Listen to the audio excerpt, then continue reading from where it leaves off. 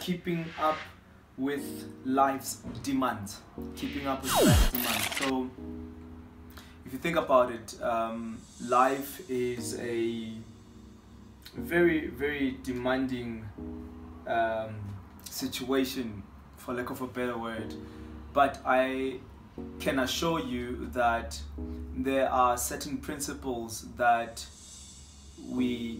tend to ignore or not necessarily ignore but um, tend to take very light uh, when it comes to situations of life. There's a part that i'm just gonna read um, right here on the on the article i just wrote it um, this evening. Um, by the way it, it is 2019 it's february and today's date is the 26th whatever has expectations whatever gives sorry uh, whatever gives has expectations. So life is something that is so amazing and god has given us this life so that we can be able to exercise it and grow in it and explore so many things and invent in it and um, do so much in it. However life gives us the ability to pursue that which we want but for us to be able to get um, to the best or to the utmost um, of that which life is giving us, there's something that we need to give back to life. And part of my um, article, there's a part where I mentioned that we are our lives, and that's that's the part I like to to really talk about. We are our lives. You are your life Whatever you expect from life, that means you're expecting from yourself. Whatever you demand from life, that means you're demanding it from yourself. You cannot be able to demand something from nowhere and not get it. When you expect yourself to live a certain type of life, that means you are expecting yourself, when you expect life, your life to be something amazing, that simply means you're expecting you to reach that goal. You're expecting you to provide for yourself that type of a life. A lot of people say every time I speak about life and or I speak about you as an individual or myself as an individual, um, I'm alluding to pride. I'm, I'm talking about um, self-centeredness, things of that nature, and of which that's not true. One of the things that I've focused on, that I've put my mind into, that I've uh, projected my energy to focus on lately, is that you can never be able to provide for the next person if you are not sorted. You can never be able to provide for your family or for whatever goal or dream you have in your life if you don't have the means to get to that. So it means you need to start by preparing you yourself so that you may be able to keep up with life. Uh, I mentioned that um, the Kardashians have got nothing on life life has got so much that it expects from us, which means you are expecting something from yourself. Life has got so much to give, which means you yourself have the enough resources to provide you to get to a point of being able to live the life that you want to live. So it, it, it is imperative, it is important that we understand as individuals that there is nothing that no one in this world will ever give to you unless you give yourself the opportunity to go get it or you give it to yourself. If you don't prepare yourself, you don't, if you don't um, um, um, train yourself, if you don't align yourself, if you don't connect yourself with the right people, you will never get the opportunity to get somewhere. Even if you ask for an opportunity, even if you knock at the door and say to someone, Look, I need this opportunity. I need you to trust me with this thing. I need you to trust me with your business. I need you to trust me with your life. I need you to trust me with your money. You need to give something to them or to that specific individual the assurance. You need to give them the confidence that you can trust me. And you can never be able to provide if you don't have anything to provide you as an individual need to move from the place whereby you sit back, you relax, you wait for everything or anyone to come pass by or to say, hey, come, here's a job, here, come, here, here's something, you know. And I always say, if you don't appreciate life or respect the, the, the rules of life, if you don't come to realize the importance of life and why you exist as an individual, you might as well just die.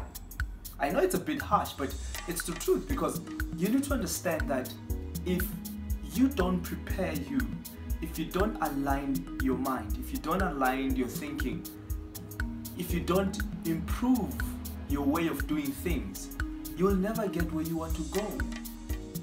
You might get what you want, but you might not you might still not be able to maintain it or, or let it grow.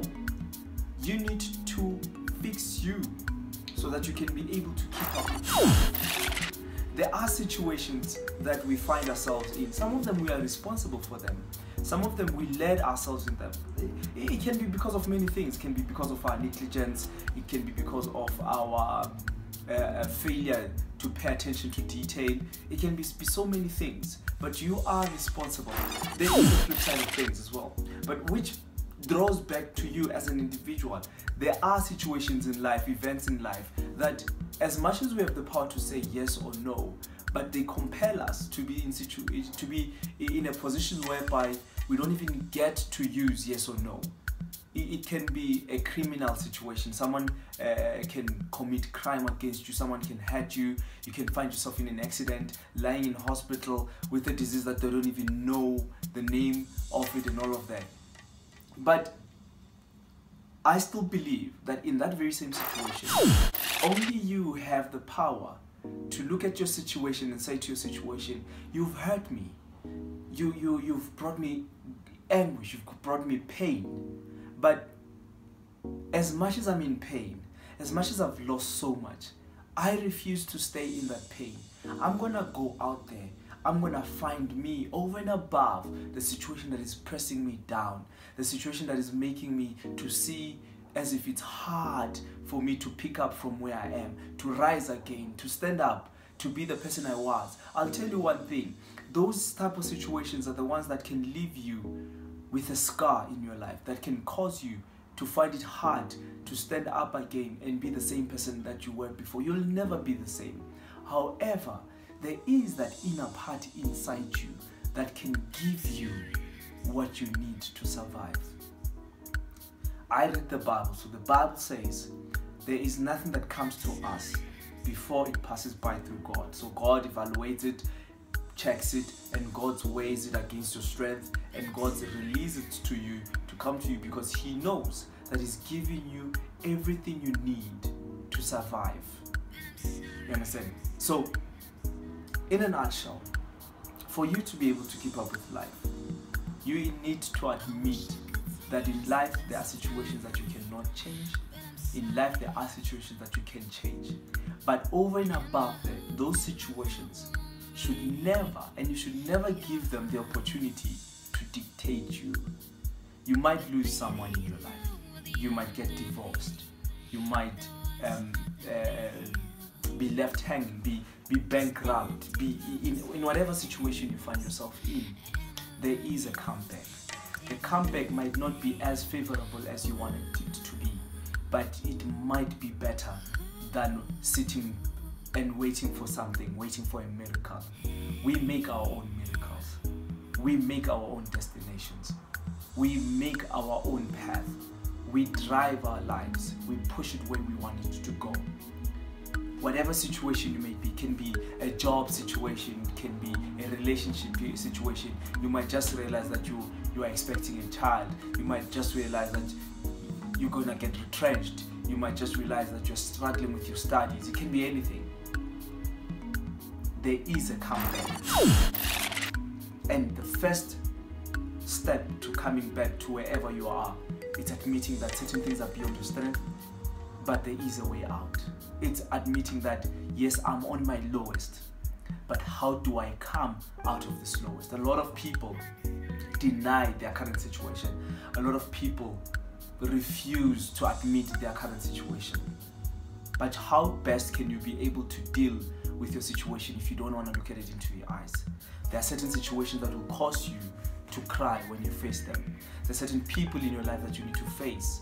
But you know when you face them, they're going to re- revive the pain.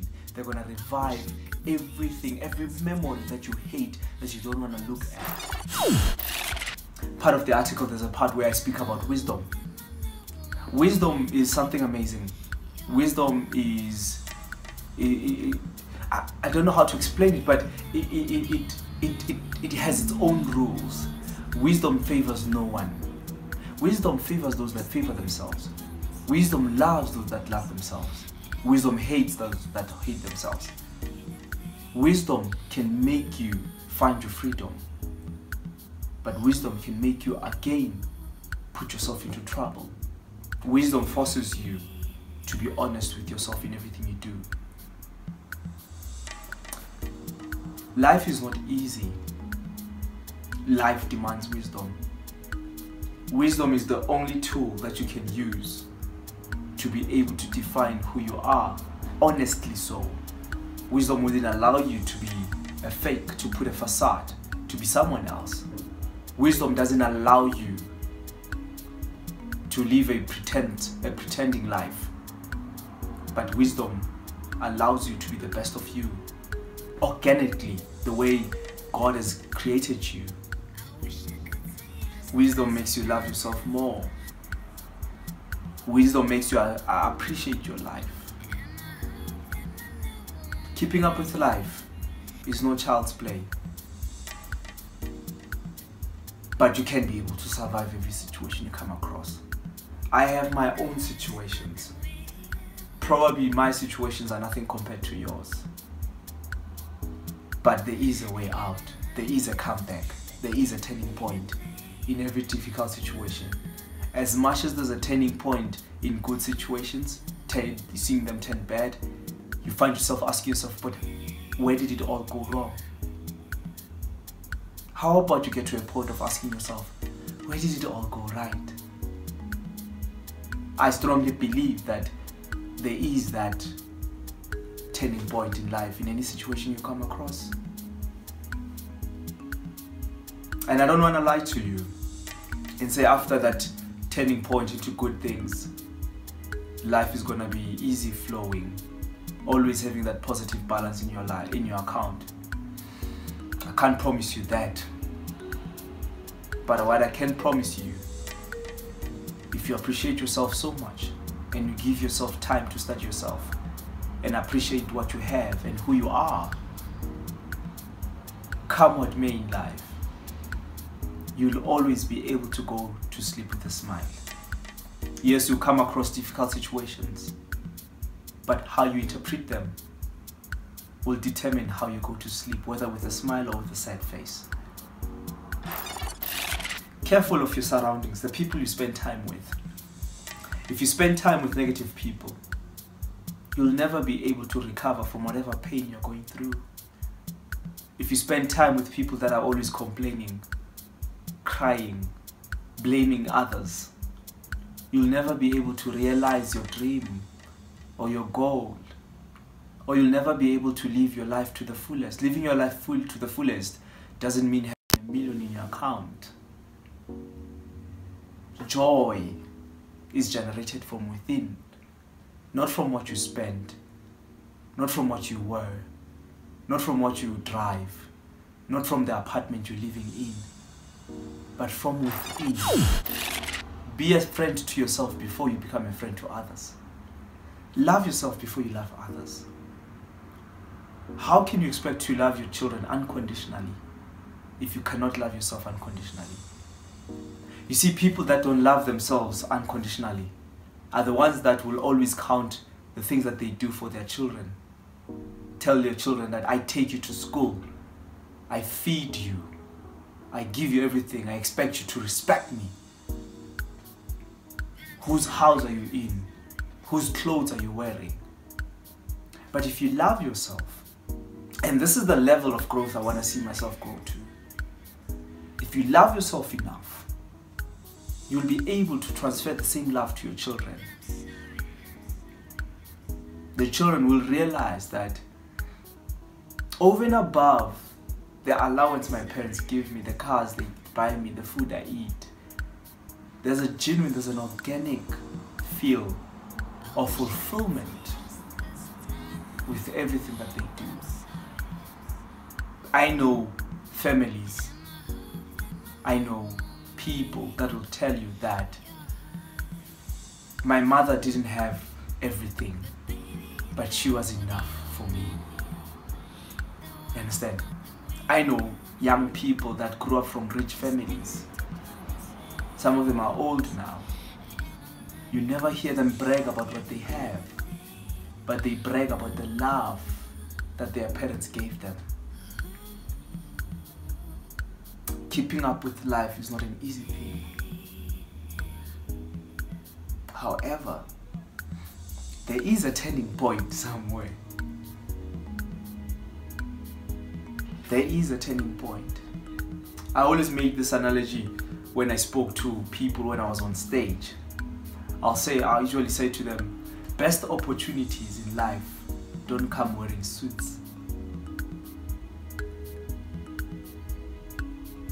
You need to work on them, you need to labor.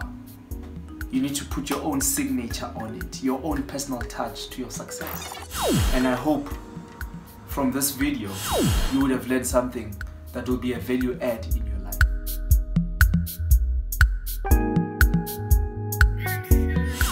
Check out more of my articles on www.inspiredwithkelly.co.za. There's interesting stuff to read there. Share your comments as well. Remember, the you of today is currently more powerful than the you of yesterday. And the tomorrow you, yes, the tomorrow you, depends on the decisions you're gonna make today with your life. God bless.